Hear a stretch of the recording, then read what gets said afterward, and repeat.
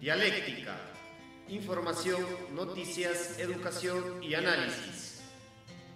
Dirección, edición y presentación Elvis Orellana Espinosa. Encuéntrenos en Facebook y YouTube. Amigos y amigas de Radio Centro Gualaceo y de su revista Dialéctica, estamos ya acá con eh, un instructor del grupo Gnóstico.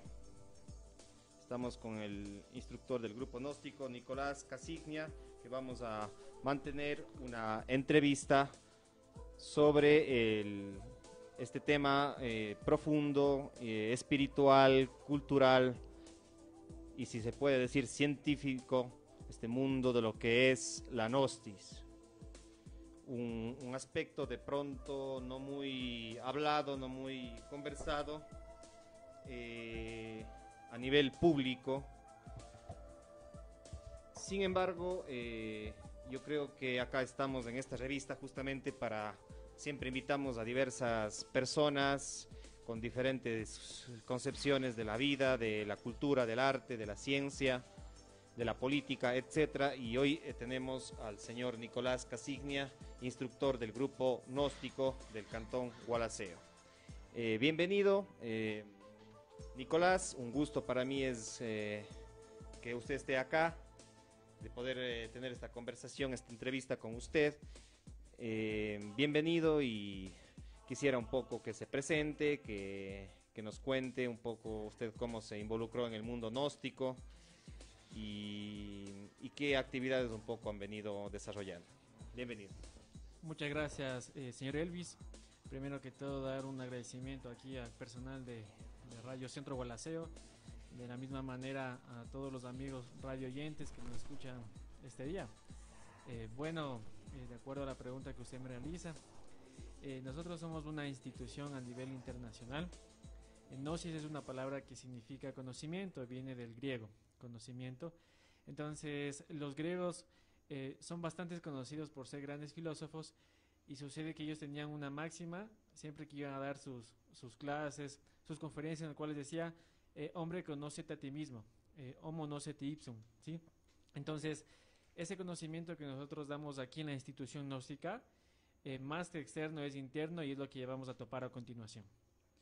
Perfecto.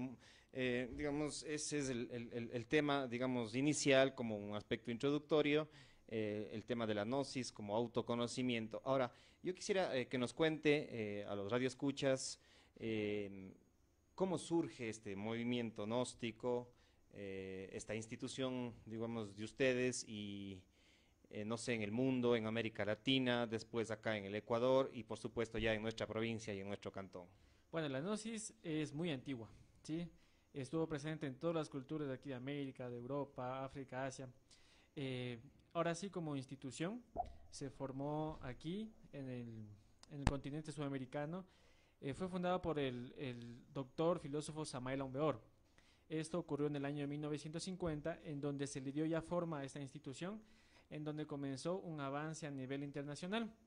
Aquí en el país, aquí en Ecuador, también tiene una historia larga, más o menos como institución justamente empezó en esa época, ya más consolidada en el año 1997. Y de ahí pues hay personas, instructores que se dedican eh, correspondientemente a abrir estos centros o sedes de conferencias, talleres a lo largo del país. La sede internacional de la Gnosis se encuentra en la República de Venezuela. Y aquí en el país tenemos nuestra sede en la ciudad de Ibarra y pues varias subsedes en todo el país. Aquí en Gualaceo, específicamente, eh, está más o menos desde el año 2008. Sí, ya tiene unos 11 años acá en la ciudad. En Gualaceo está desde el año 2008. Exacto. En 2008 es donde se inauguró la, sede. Y pues desde este tiempo acá ha estado compartiendo diferentes eh, cursos, talleres, conferencias sobre psicología para pares, juventudes, etcétera. ¿sí? Entonces, justamente el objetivo de la cultura gnóstica es que pues toda la gente vaya conociendo eh, la metodología que nosotros usamos para el conocimiento y el autoconocimiento. Mm, ya, eh, de alguna forma, eh, no sé si un poco nos, nos, informa un poquito más datos biográficos de, del fundador, digamos, o Saúl, Samael. perdón, Samael aún mejor. Sí, eh, no sé si hablamos un poquito sobre él, eh, a qué se dedicaba, su biografía, su historia de vida. Ya. Eh, Samael Ombeor nació en Colombia en el año 1917. Él, pues, comenta en uno de los tantos libros que escribió que en su niñez tuvo bastantes inquietudes, sobre todo artísticas, espirituales y científicas. El hecho de que él tuvo esas inquietudes es porque no se conformaba con lo que a nosotros nos dicen, esto es así y así tiene que ser, ¿sí? Sino él se dedicó a investigar, él se dedicó pues a ver si realmente todo lo que hemos aprendido es cierto. Entonces ahí es donde él comienza a vivenciar con ciertas prácticas que varias de las cosas, mire Elvis, y yo lo noto aquí, creo que un 90% de, de historia que a nosotros nos ha enseñado es falso o está equivocado, ¿sí? Entonces, por ¿Les ha enseñado en dónde? ¿En las escuelas, en, los colegios? Exacto, escuela, colegio, universidad. Inclusive por costumbre, sí, está muy equivocado. Entonces, él comenzó justamente a investigar. Él estuvo en la escuela Rosacruces, teosofistas, y pero ah, llegó un momento en donde él se hizo orador, más o menos fue a los 17 años, un muchacho de 17 años comenzó a dar conferencias en la sociedad teosófica, y de ahí en adelante, pues él comenzó ya a nivel internacional a salir, ¿sí? Para enseñar lo que él había aprendido por sí mismo. ¿sí? Fue así que en el año 1950 ya fundó la, la institución que se conocía como el movimiento gnóstico y de ahí él comenzó también a formar a otras personas para que ellos también vayan por diferentes partes del mundo para entregar esta metodología bastante grandiosa. Perfecto. Digamos, esa es un poco la, la, historia de vida o como se llama la biografía. Bio, vida y grafía es como que la historia, la historia de vida. Eh, de, este gran maestro espiritual, eh, cultural, eh, Samael aún mejor, medio difícil de, pronunciarlo. Ayer, un poco antes de la entrevista, estaba revisando algunos datos y decían que es como un seudónimo, él, tenía otro nombre. Exacto, sí. él realmente, o sea, digamos, los papás le llamaron Víctor Gómez, fue su nombre en el registro civil. Más sin embargo, Samael Aumbeor es, es el nombre, como se dice, llamémosle seudónimo, si en algún momento podríamos indicar en algún tema por qué se puso ese nombre luego. ¿sí? Mm, Sin embargo, es el nombre ya que se le conoce mundialmente, Samael Aumbeor. Perfecto, perfecto, estimado eh, Nicolás. Mm, vamos ahora ya a introducirnos un poquito más, eh, conociendo este contexto, digamos, esta, esta breve historia y además teniendo conocimiento que en Gualaceo eh, el movimiento gnóstico ya está casi 11 años, como lo menciona. vamos ahora con la primera pregunta de partida muy sencilla. ¿Qué es la gnosis?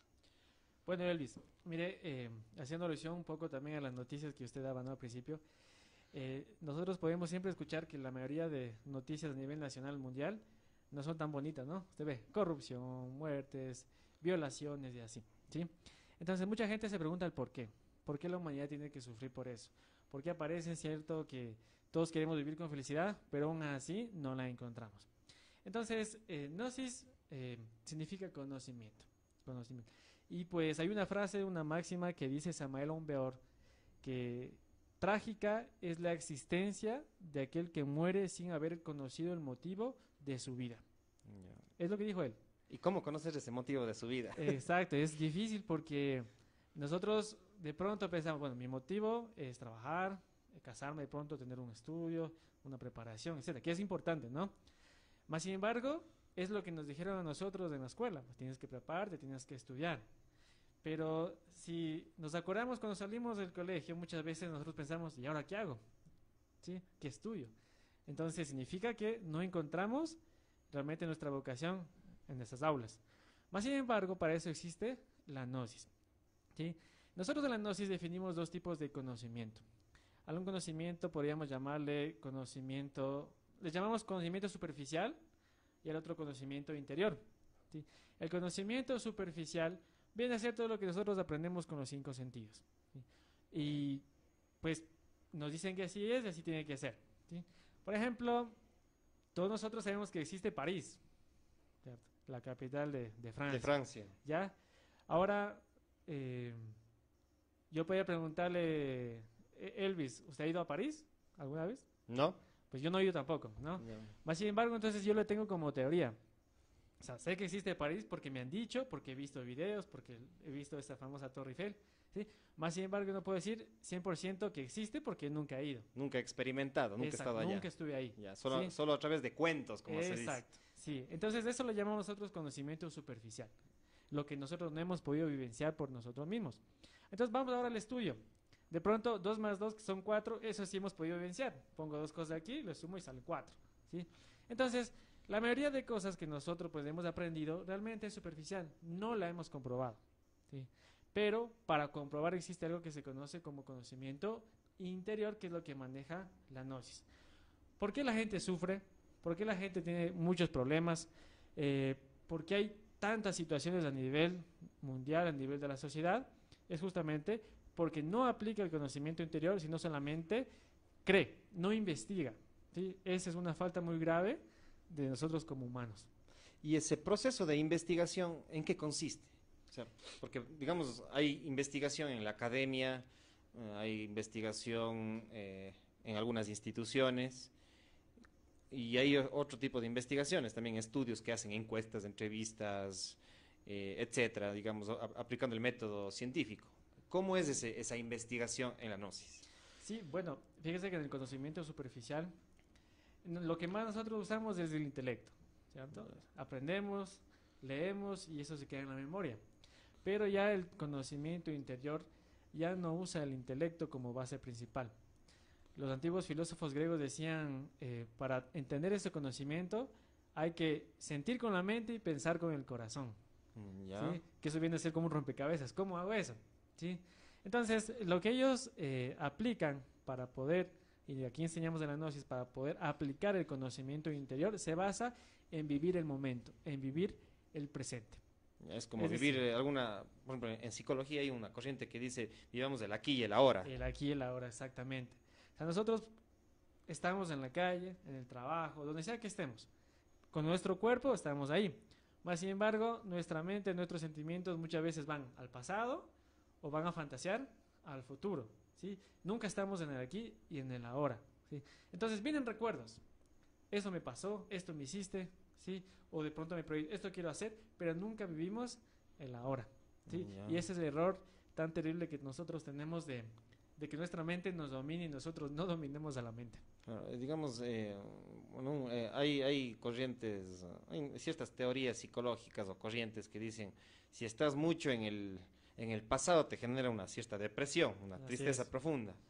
Y si es que estás mucho en el futuro te genera ansiedad Así es. una obsesión por el futuro. Entonces, ¿cómo le ven ustedes eso de...?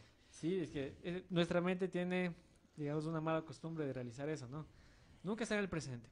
Si, por ejemplo, vamos a ver cuántos pensamientos tuvimos hoy, desde que amaneció hasta esta hora, vamos a ver que la mayoría de ellos, nuestra mente nos los puso. Son muy pocos lo que nosotros ponemos. O sea, bueno, por decir, yo al venir acá tengo que venir a la radio, ¿cierto? Entonces me programo donde vengo. Más sin embargo, hay pensamientos que la mente los saca, recuerdos, fantasías, imágenes, sonidos. O sea, y eso justamente genera problemáticas, ahí vienen las famosas enfermedades psicosomáticas, en los cuales se generan justamente por esa eh, sugestión que pone, que pone la mente. ¿sí? Entonces, la cultura gnóstica lo que hace justamente es entregar la metodología con diferentes claves para que nosotros po- podamos vivir el aquí y el ahora. Y esto es lo que las grandes culturas a nivel mundial, esas culturas ancestra- ancestrales, que también se llamaban culturas serpentinas, entregaban, ¿sí? A todas las personas le decían, vivan el aquí, vivan el ahora, y van a ver cómo pues se evitan tantas preocupaciones. Este conocimiento, digamos, o estas metodologías para vivir este aquí el ahora, em, ¿cómo se aplicaría ya en, no sé, de pronto con aspectos de ejercicios?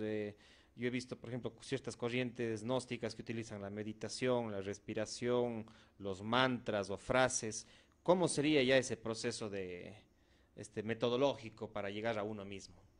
Sí, eh, existen varias claves ¿no? para llegar a eso y una muy importante que nosotros entregamos al inicio de cada curso es una que se llama observador observado, u otro nombre se conoce como la autoobservación. Entonces, ¿en qué consiste esa clave y que nosotros podemos aplicar en donde sea que estemos? Eh, vamos a ver la función de un guardia de seguridad. Aquí, por ejemplo, en los bancos. ¿Cuál es la función de un guardia? Ver que pues, la gente no haga desorden, ¿sí? En la fila, que si alguien tiene gorra se saque, que si alguien está con un celular pues lo guarde. O sea, tiene que mantener el orden. Un cierto orden, claro. Exacto. Entonces, es aplicándolo eso a nosotros, eh, según la psicología gnóstica, en nosotros, en cada persona, existen miles de personas que viven. ¿Sí? Eso pareciera un poco raro, ¿no? Nosotros nos miramos al espejo y pues nos vemos, soy uno. Ya. Más sin embargo, existen muchas personas dentro de nosotros. Vamos a llamarlas así como personas.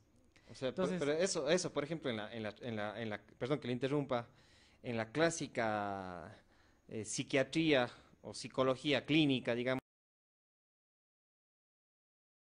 en la clásica hay diversas corrientes, se podría decir como una persona como múltiple, de- trastorno, trastorno múltiple de personalidad. Exacto. En este caso, por ejemplo, que inclusive ya hay datos que conforman que personas ya no pueden controlar justamente esas personalidades y e inconscientemente hacen cosas que nunca eh, lo harían conscientemente, sino después se acuerdan.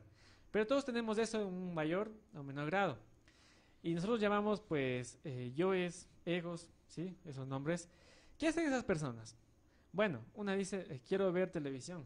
Y pensamos que somos nosotros. Pero esa persona al interior dice, quiere ver televisión. Y nos hace parar, nos hace acostar, nos hace sentarnos, coger el control y prender la tele. Otra dice, mejor eh, quiero comer viendo televisión. Y pues nos hace parar, nos hace así. Otra persona cuando estamos en la calle, de pronto alguien nos empuja, nos mira mal. Y dice, bueno, reacciona, no te dejes. ¿Sí? Y reaccionamos. Otra dice, miente. Otra dice, deja para mañana, mejor, hoy, hoy descansa. ¿Sí? Entonces, esas personas son las que nos hacen actuar todos los días. Y no somos nosotros. Inconscientemente actúan desde el subconsciente y el resultado de su actuar es el fracaso como humanidad. Entonces, ¿en qué consiste la clave observador observado? En que yo me divida en dos. ¿sí? Me imagino, aquí estamos nosotros, por ejemplo, sentados. Entonces, las personas de este momento que nos escuchan donde estén, imagínense que, que se separan y se ven donde están. Yo estoy aquí sentado, entonces me imagino y me veo yo que estoy aquí sentado. Y observo primero mi parte física, mis gestos, ¿sí?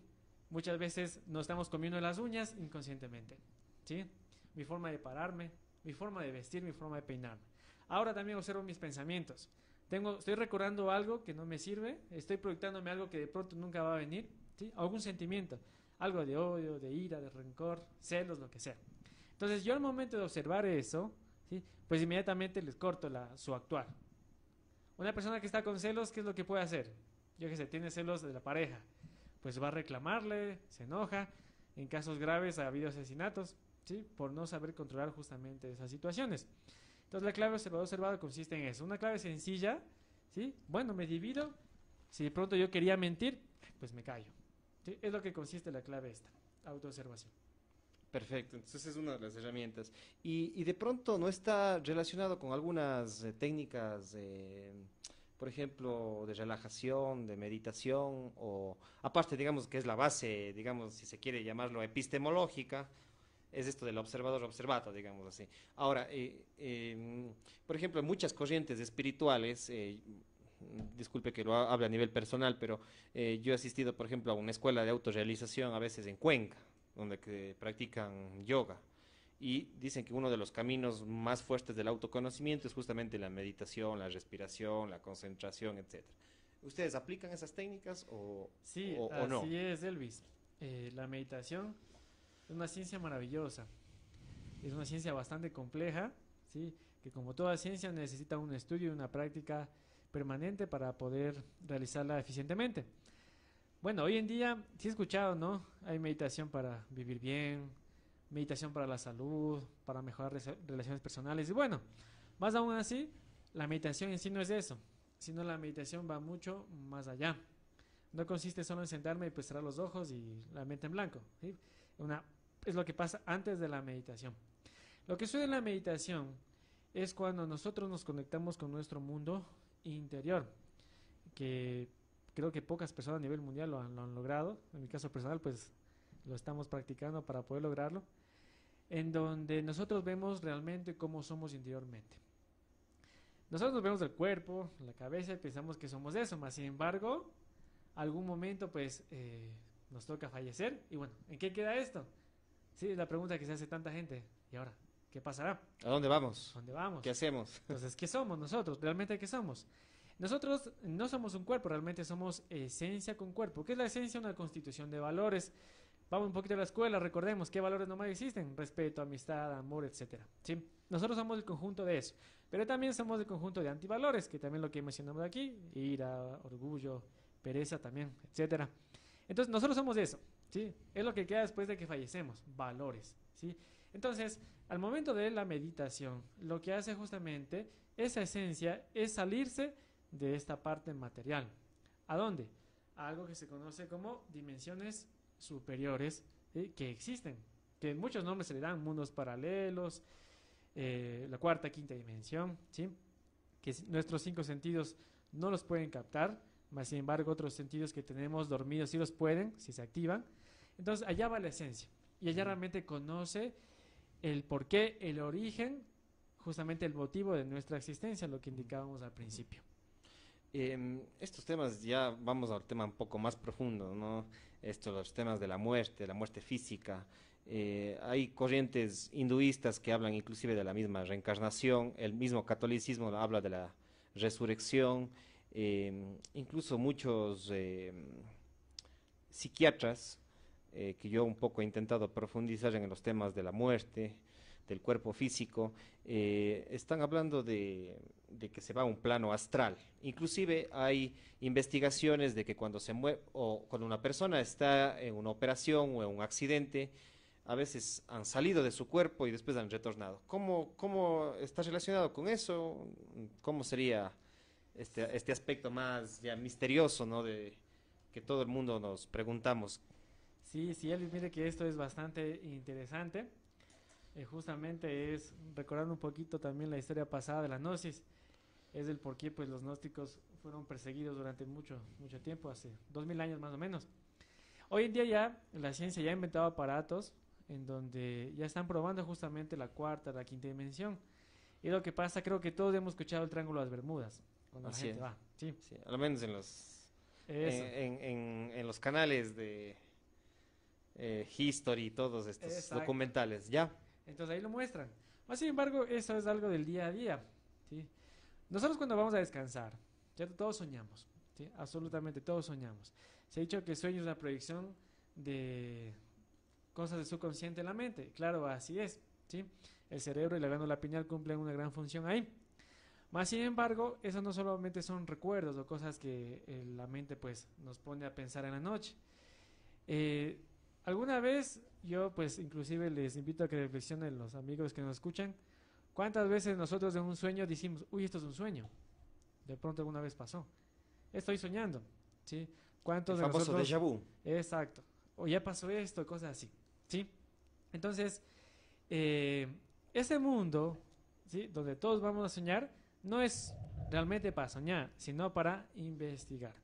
¿Sí? Hay personas que se acuestan mo- inmediatamente están durmiéndose y se ven acostadas. ¿Sí? A veces por el susto se despiertan otra vez. Claro, ¿sí? claro, claro. Hay otras personas que allá conscientemente ya no están soñando, sino están investigando. Pero generalmente, obviamente, los sueños que, que pasan, que tenemos nosotros, son repeticiones que pasan en el día, porque pues justamente está el problema de la mente, que no está en el aquí y en el ahora. ¿sí? Entonces el astral existe. ¿sí? Digamos que la meditación va un poquito más allá, va a una dimensión un poco más elevada. Entonces, cada uno de nosotros podemos acceder a esos mundos, siempre y cuando en el día a día estemos conscientes de todo lo que realizamos, o sea, vivir el aquí y el ahora. ¿sí? Eh, la mayor, la mayor eh, digamos, el, el mundo actual eh, que vivimos, digamos, en constante estrés permanente, en presiones del trabajo, de la familia, del- de la situación económica y política del país, etcétera, de pronto no nos permite estar en ese aquí y en ese ahora. Eh, ¿Cómo identificar, por ejemplo, estos, esta situación? O sea, estar, comúnmente y, y de pronto algo, algo surge. También se habla de, inclusive, de- del sincretismo o de la sincronicidad. También se habla mucho, hay mucha, inclusive los físicos, la nueva ciencia física, la teoría física, está hablando de esto de, de la sincronicidad. Eh, yo he escuchado, por ejemplo, he leído, de- digamos, Fritjof Capra, por ejemplo, y muchos que están hablando de, en el ámbito científico ya de estos, de estos, de estos planos, digamos, o dimensiones paralelas en las cuales nosotros estamos inmiscuidos. ¿Cómo, cómo eh, profundizar ese, ese saber? Sino, es una, una técnica bastante difícil de aplicarla, ¿sí? Porque nosotros desde pequeños justamente hemos sido pues preparados para no estar aquí en la hora.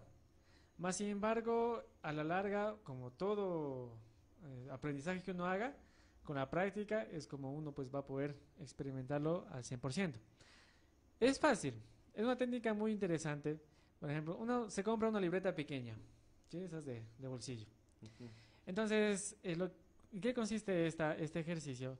En que nosotros en el día, por ejemplo, levantarnos, ¿sí? Nos primero veamos la libretita, tengámosla siempre en la mano. Y bueno, vamos a hacer nuestras actividades que corresponden y hacemos el esfuerzo por cualquier día de ponernos en el aquí en el ahora. ¿sí? O sea, si estoy comiendo, estoy comiendo. Si estoy caminando, estoy caminando. Si estoy dialogando, pues estoy dialogando. ¿sí? Entonces, mira, una persona puede manejar un carro. ¿Qué pasa cuando estamos manejando el carro? ¿Sí? ¿Qué pasa si viene un pensamiento y nos desconcentra? Me voy, puedo desviarme. ¿sí? Y ahora más con los celulares que están... Con el celular, por ejemplo. ¿Cuántas personas están con el celular en la calle y el sonido del carro que les hace nuevamente estar? ¿sí? Entonces, cuando nosotros nos ponemos justamente aquí en el ahora, marcamos con una, una rayita en la libreta. ¿sí? Y en la noche revisamos. Bueno, bueno, hoy en el día, las, las 12 horas del día, estuve solamente un rato de aquí en la hora. Es decir, hice conciencia de que estaba comiendo. Hice conciencia, y por ejemplo, yo les pregunto este rato a todas las personas que nos escuchan, nosotros también. Y hacemos conciencia que tenemos un dedo meñique, ¿sí? de que caminamos, muchas veces no. Siendo cuando nos golpeamos, ve, me dolió el dedo meñique. Ahí recién me acuerdo que tengo este dedo. ¿sí? Entonces, en ese momento es donde yo pongo esa rayita ahí. Es como una escuela básica, ¿no? Luego, cuando ya voy progresando de esa manera, algún rato voy a ver, mi libreta y voy a ver, bueno, wow, en el día ya estoy más consciente de lo que hago. Más veces estoy en el aquí y el Entonces, cuando una persona aquí, parece algo sencillo, pero cuando una persona se pone aquí en la hora, puede evitar cometerse tantos errores que le pueden costar inclusive peleas para toda una vida. Una palabra, yo qué sé, la pareja, un momento de enojo le dice, ¿por qué me casé contigo? Eres lo peor. ¿Cuánto tiempo se demoró en decir eso? Ni tres segundos. ¿ya? Puede dañar toda una vida. Si una persona se pone en el aquí y el ahora, justo en el momento que siente esas ganas de enojarse, entonces no dice la palabra y mire lo que se evitó. Posiblemente un divorcio. ¿Sí? Son las grandiosidades de estar en el aquí y en el ahora. ¿Cuántas personas por tener miedo no emprenden? ¿Sí? no emprenden un negocio. No emprenden un negocio. ¿Cuántas personas por tener miedo pierden tantas oportunidades? Porque todo eso corresponde al estar atrás, en el pasado o en el futuro. Y nunca se está en el aquí y en el ahora. ¿sí? Perfecto. Eh, digamos, hemos conocido, eh, digamos, en términos generales lo que es este mundo gnóstico, misterioso. Ahora, eh, vamos un poco ya para ir eh, culminando. Eh, tenemos unos ocho minutos aproximadamente. mucha gente, por ejemplo, yo he visto que vamos a los cursos de la Gnosis aquí en Gualaceo y dice, bueno, no, es que yo soy católico. Ah, vivimos en una, en una sociedad básicamente católica eh, en una cultura, ahora que inclusive que se, que se aproxima las navidades en el mes de, diciembre para el mundo católico, em, ¿qué les pudiera decir usted de esta cultura nuestra que es, que es, tradicionalmente más apegada a los, no sé si se llamarlo, llamarlo dogmas de, del catolicismo o en sus versiones protestantes también? Acá tenemos testigos de Jehová, tenemos evangelistas, los mismos cristianos que, están más, más evangélicos. Eh, ¿Cómo mira la gnosis? Eh, ¿Qué le diría a un católico que tradicional, digamos, no sé? Bueno, eh, a nivel mundial no hay bastantes corrientes de movimientos ¿no? religiosos. Lo que nosotros pretendemos enseñar con la gnosis a toda persona que pueda asistir a los cursos, justamente sin distinción de ningún tipo de dogma, es que si es católico, sea mejor católico, si es evangélico, sea mejor evangélico, porque una de las bases en cual se fundamenta la gnosis es la religión. ¿sí? Generalmente nosotros, eh, como mañana pensamos religión, inmediatamente nos vamos a una construcción, a una ropa, a una figura. Más sin embargo, la religión en sí, que viene del latín la palabra religare, ¿sí? dice volver a unir. ¿Volver a unir a qué? A esa esencia. La religión es lo que hago yo en el día a día. ¿sí? Si yo veo, por ejemplo, un perrito por ahí en la calle, entonces, si yo le doy alimento para que el hambre de ese animal, estoy siendo religioso. ¿sí? Porque uno. Exacto, porque estoy practicando ese valor que a mí me dijeron que se llama caridad. ¿sí? Si doy un consejo, si soy honesto, soy religioso. Eso es la auténtica religión. ¿sí? Ahora, ¿qué tal? Sin nombrar, pues, eh, pero ¿qué tal? Eh, me autoprogramo de cualquier tipo de religión, ¿sí? Pero en palabras lo digo, pero en hechos no lo hago. Entonces no soy religioso, ¿sí? Independientemente de donde sea que pertenezca. Hay personas que inclusive dicen, no soy de ninguna religión, soy atea, e inconscientemente no lo saben, son religiosos, porque en el día a día están practicando justamente esos valores. ¿sí? Eso es para, para justamente la gnosis, la religión, lo que yo hago en el día a día. Así que donde sea que estén, pues lo hagan, ¿sí? Aquí necesitamos mucha gente que tenga una mente abierta, ¿no? Porque a veces, bueno, y también rememorando esto, pues eh, los nóticos fueron muy perseguidos hace mucho tiempo. ¿Cómo es eso? Eh, eh, eso me quedé un poco con esa, con esa pregunta. ¿En qué, ¿En qué época de la historia, por quiénes fueron perseguidos? ¿Cómo, cómo fue eso? ¿Ya? ¿Cuál es el contexto sí, de algo bastante interesante del estudio también, le invito a toda la gente que lo vea a realizar.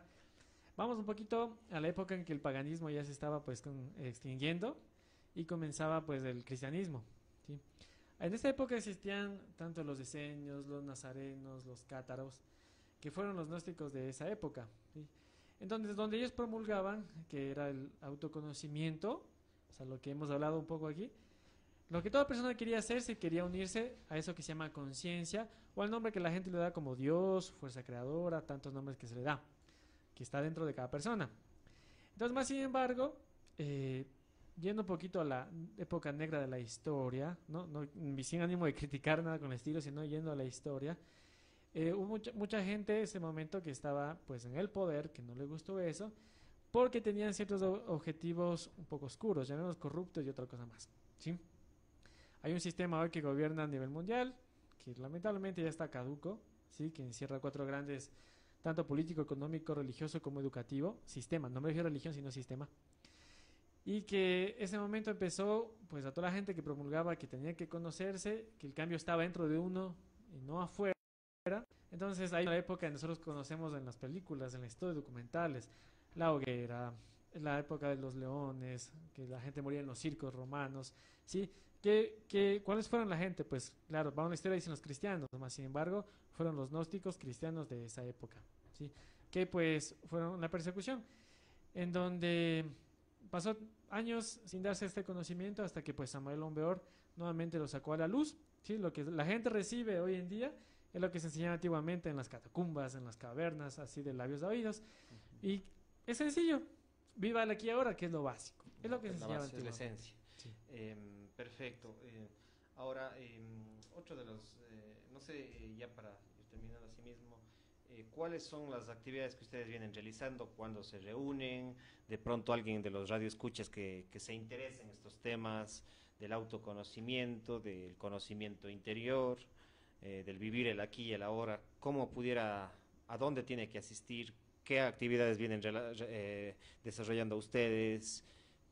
cómo se podría vincular o estudiar estos temas. La sede aquí en la ciudad de Gualaceo, Elvis, pues invitando aquí a todos los amigos que nos escuchan, igualmente inventándole a usted. ¿sí? Está ubicada en la calle Colón, entre la avenida de los Cañares y Vázquez Correa, ¿sí? a media cuadra del centro comercial Las Orquídeas. Ahí está un letrero eh, que dice, pues no, sí es un letrero azul. Hay un símbolo que ellos van a identificar que pues es de este sol de acuario, ¿sí?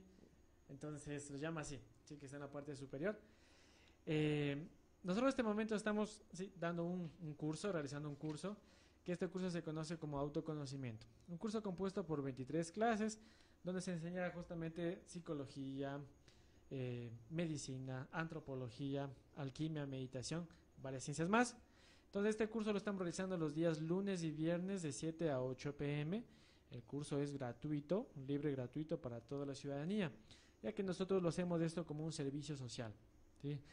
Nuestra, eh, nuestro objetivo es que la gente conozca, ¿sí? Por lo menos vea qué es, cómo puedo aplicar en la vida diaria Y esto inclusive ya lo estamos haciendo pues a nivel internacional, inclusive hay otros países en donde ya se está promocionando o se están realizando ya cursos online, en lugares por ejemplo en Europa, en África, en Asia, donde pues todavía no hay sedes allá, ¿sí? Más sin embargo ya hay cursos online que la, puede, la gente puede ver. Entonces puede asistir ahí en la dirección que le hemos mencionado y también puede ver eh, con más amplitud en la página web que es www.lumendelumine.org. No sé si puedes repetir, Sí. no sé. www.lumendelumine.org. Sí, lumen de lumine es eh, latín, ¿sí? lumendelumine.org. Entonces ahí hay libros que puedes cargarlos gratuitamente. Si la Gnosis tiene bastantes documentos, videos, audios, música, inclusive música clásica. Y la persona pues ahí va a conocer realmente el objetivo de la Gnosis. Ahí va a encontrar las direcciones también a nivel nacional, a nivel internacional. Perfecto. Eh, números telefónicos. eh, Claro, con todo gusto pueden llamarnos, escribirnos al WhatsApp 0995 312 382. También al número 0996 378 137. No sé si podemos repetir para que la gente de pronto que está por ahí quiere hasta que tome un poco la el- algún Claro, cuaderno sí. por ahí puede apuntar. A ver, repetimos nuevamente. Sí, es el 0995 312 382 y 0996 378 137. ¿sí? A esos dos números nos pueden llamar o escribir un mensaje por, por WhatsApp y ahí pues les indicamos también la información respectiva de los cursos que estamos realizando. Perfecto, Nicolás. eh, espero que, bueno, primeramente muchas gracias por estar acá. eh, para mí ha sido un gusto este mundo eh, complejo que es el autoconocimiento, a veces no tan entendido, no, no tan vivido también ni practicado. Espero que no sea ni la primera ni la última, que acepte otras invitaciones para que para conversar sobre los diferentes temas que ustedes tienen en los cursos.